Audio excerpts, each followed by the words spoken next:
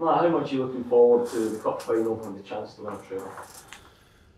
Yeah, of course, it's a nice position to be in. Um, exciting times. It's been a good week of trading. The mood's as usual, as per. Um, but yeah, looking forward to it. How much pride would it give you? Because you've obviously had so much success here already, but to, to cap that off with a treble, what would it mean to you personally?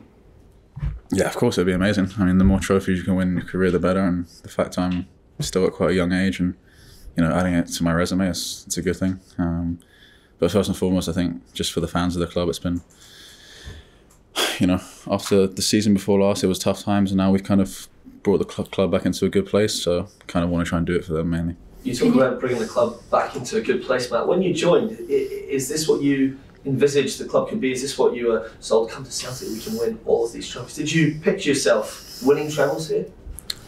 Yeah, I think I just I knew the expectation was to win when when you come here, you know. So I think that kind of follows up and gets backed up by winning trophies. And when I had the phone call with the manager to come, he kind of prepared me in the sense that you are expected to win every single game, um, which was a new thing for me. Um, but something I've thoroughly enjoyed being part of because it makes you, you know, be even more of a competitor.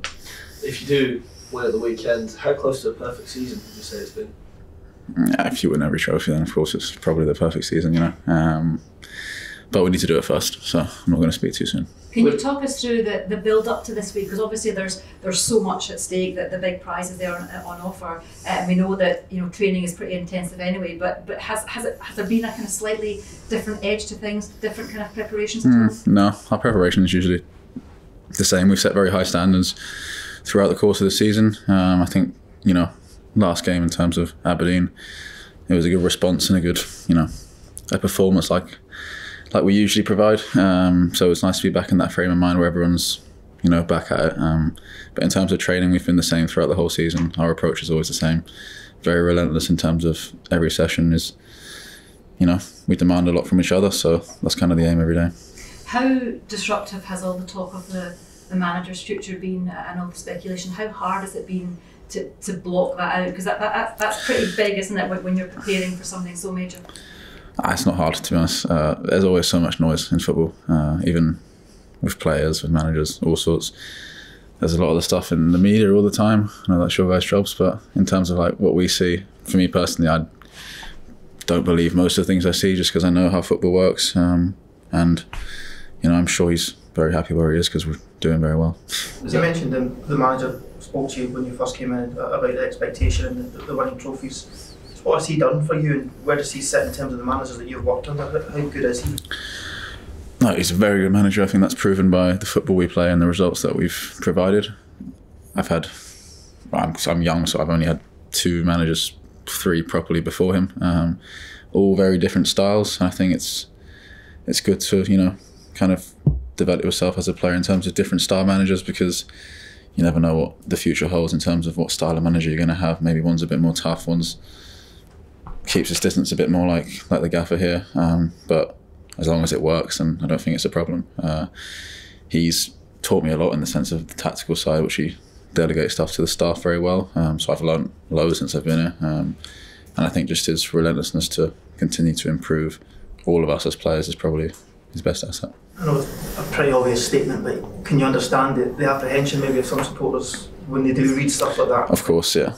No, of course. Uh, he's obviously provided so much success to the club, and hopefully that continues. Um, and naturally, fans are attached to someone who brings so much success to the club. I think same goes for the players in the group right now. I'm sure everyone's you know everyone's had good seasons for the most part, so naturally there's going to be interesting players, but hopefully we can just keep as many together and kind of push on even more next season.